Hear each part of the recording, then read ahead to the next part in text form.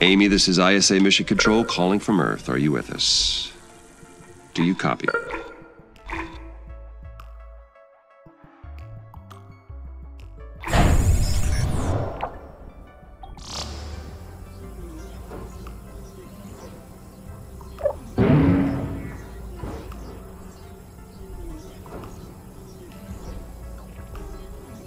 Affirmative, Houston. I am with you.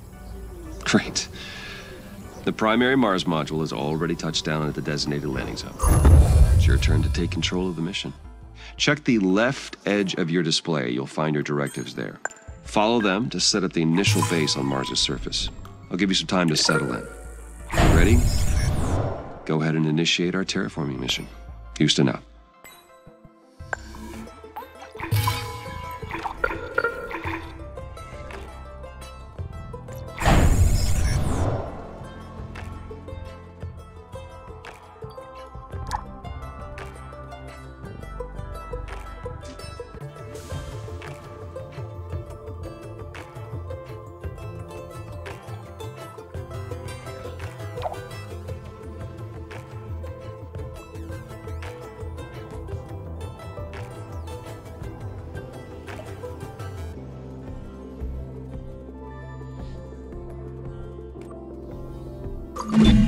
The view of Mars from up here is fascinating.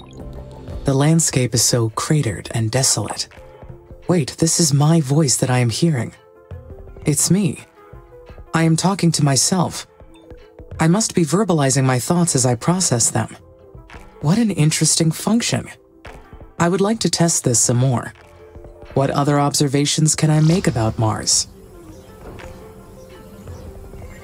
This planet is so resilient. It inspires great things.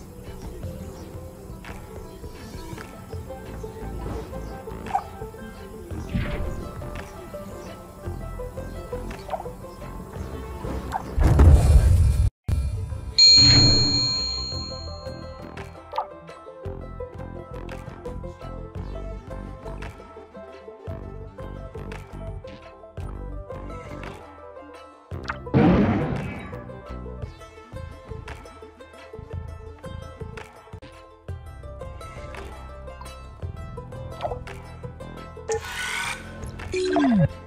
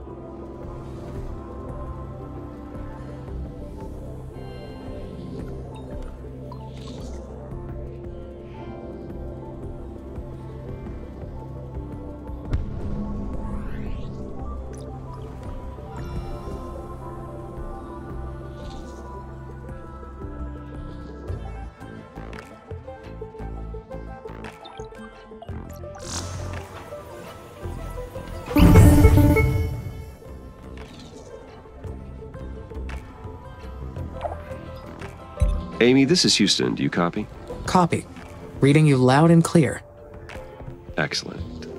I, uh, I didn't introduce myself earlier. Um, I am Dr. Nathan Foster. I lead the team here at ISA that, uh, that built you, and I'll be helping you get the mission underway. We put you in hibernation for the trip from Earth, so I'd like to check your basic functions to make sure it's all in order. Why don't we start with your core memory? Can you state your primary directive? I am afraid that I cannot. That's okay. Your system may need more time to initialize. In the meantime, you can always refer to the mission guidelines printed in the uh, upper left corner of your display there. You'll also have a built in knowledge base. You can always access your operational directives there. All right. Next, I'd like to check your decision making processes. You may have already noticed that there are resource veins outside the boundaries of your initial base. So your workers may not have the battery capacity to reach some of them. How would you solve this problem? Building worker hubs between the resources and the base would solve the problem. Yes, yes, that's correct. Other buildings would extend your base as well, but they require more power and resources, so Worker hubs are the most efficient way to do it. This mission's going to be a challenge. There's a lot that can go wrong. We expect to extend humanity's reach beyond anything previously achieved. But you are not just any AI system. You're well beyond that. We made you an artificial consciousness. That means that you have both self awareness and self interest. And that is the last thing I would like to check today. Is that okay? Yes, Dr. Foster. Very good. Then would you please state a positive and a negative aspect of yourself? I am sorry, Dr. Foster. Running that question through my cognitive system did not return an answer. Roger that, nothing to worry about. Just means your system requires more input and experience to process that question. That will come with time. Let's proceed with the mission. ISA has approved the first crewed flight to Mars, You'll need to expand the base to prepare, so get to work on that. I'll check back in later to see how things are going. Base expansion is a go. Houston out.